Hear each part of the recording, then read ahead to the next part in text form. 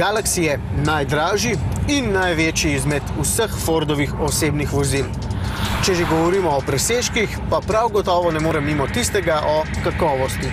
Če je najboljši, no, vsekakor je zelo, zelo dober. Galaxy je bil pred kratkim deležen manjše prenove, na zunaj ga boste prepoznali po novem pokrovu motorja, ki se ga prav nič ne vidi, po novi maski in po novih žarometih.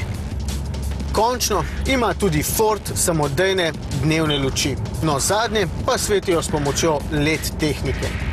Notranjost je iz kakovostnih materijalov, je pa ta volan še vedno pretanek. Če česa Galaxiju ne manjka, je to prostora.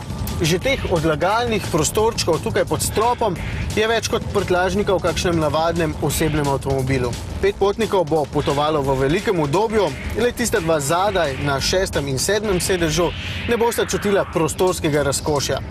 Pri postavljanju zadnjih sedežev pa je potrebno malce več napeti mišice, saj nista najlažja.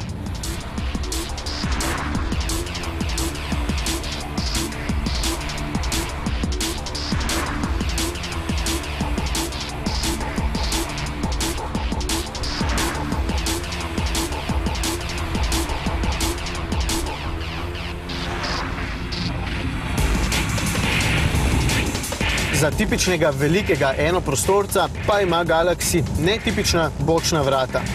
Ta niso drsna, ampak običajna krilna. Če so na parkiriščih manj uporabna, so pa zato lepša, saj z njimi avtomobil izgleda kot poseben avto. Dvolitrski agregat 120 kW je na sredini ponudbe med dizelskimi motorji.